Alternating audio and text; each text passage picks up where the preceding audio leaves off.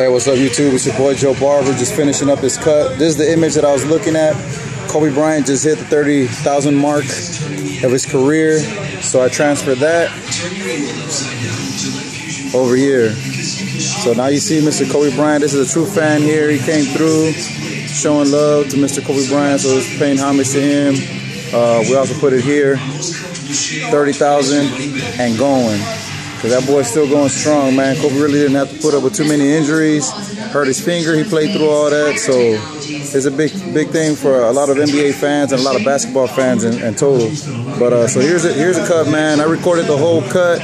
I'm gonna try and edit it and put it out there. But this is the finished product, so y'all can see how he looks. And uh, you know, that boy Kobe. What can you say about the Black Mamba? You know, I'm not a big fan of his but this guy is. So he's willing to walk around and, and show everybody how much he's uh, committed to his team and his favorite players. So hopefully y'all like this, man. Y'all stay tuned, y'all stay subscribed, and y'all stay faded, man.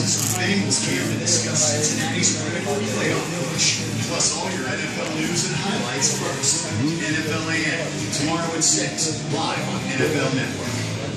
With NFL Game Rewind, you can relive every game of the season on your laptop or tablet. You can access the coaches film with the all-22 machines and zone camera angles. NFL Game Rewind.